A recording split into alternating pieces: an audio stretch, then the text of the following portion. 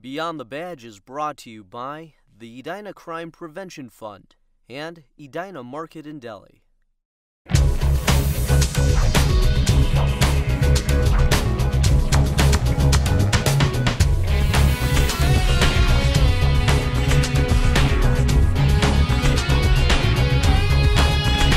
Welcome to Beyond the Badge, a program about the inner workings of the Edina Police and Fire Departments. Thanks for joining us. I'm Sergeant Brian Hubbard.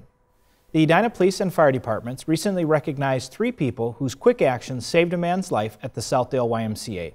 Edina TV's Dietrich Nissen spoke with those involved and has the story.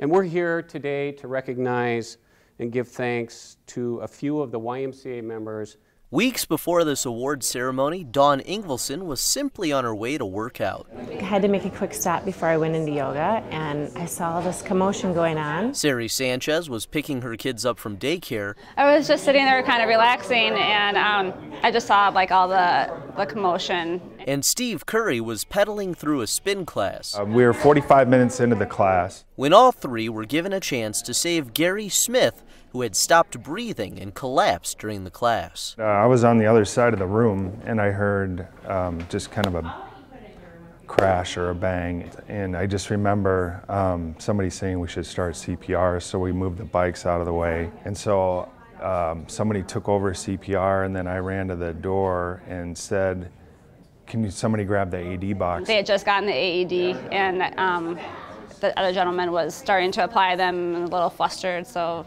I kind of just jumped in and helped him out, put the pads on, and um, started doing compressions because it advised for compressions. And um, we had to do, I think, like two cycles of compressions.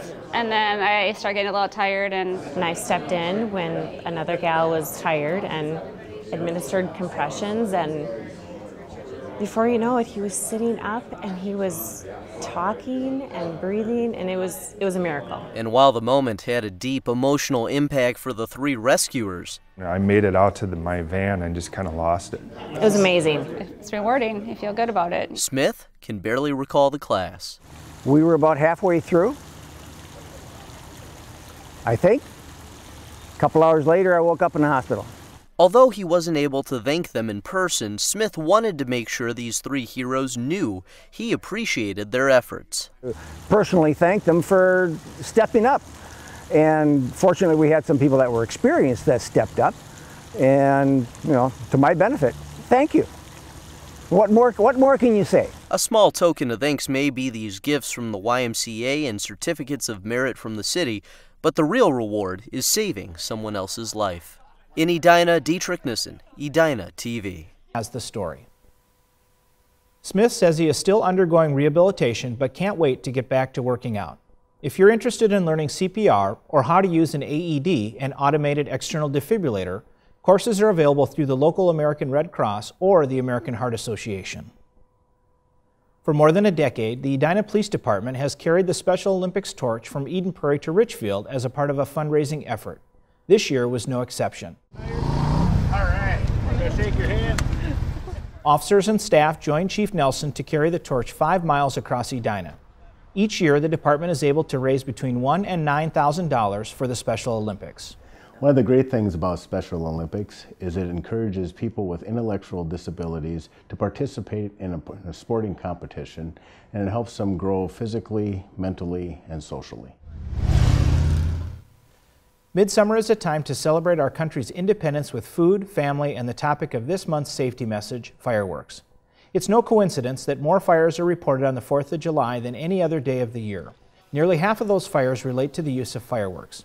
In Minnesota, the use of aerial fireworks is illegal and dangerous. Those who are caught using them can expect to face up to one year of jail and fines of up to $3,000. However, legal fireworks are not completely safe.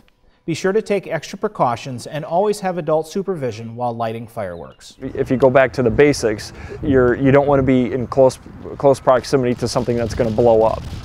So you want to be distance yourself from those, you know, approach them low from the side, light them that way. Don't hold on them. Don't point them at people. Don't point them at, at uh, buildings. Uh, you know, be careful of, of where uh, the, the fallout area is. Uh, that's one of the terms that that they use for professional fireworks is you know they have a, like a fallout zone and so they, they, they consider where are the fireworks going to land. If you have questions about fireworks safety, please contact the Edina Fire Department. On behalf of the City of Edina's public safety team, thanks for tuning in to learn a little bit more of what goes on beyond the badge. Until next time, stay safe.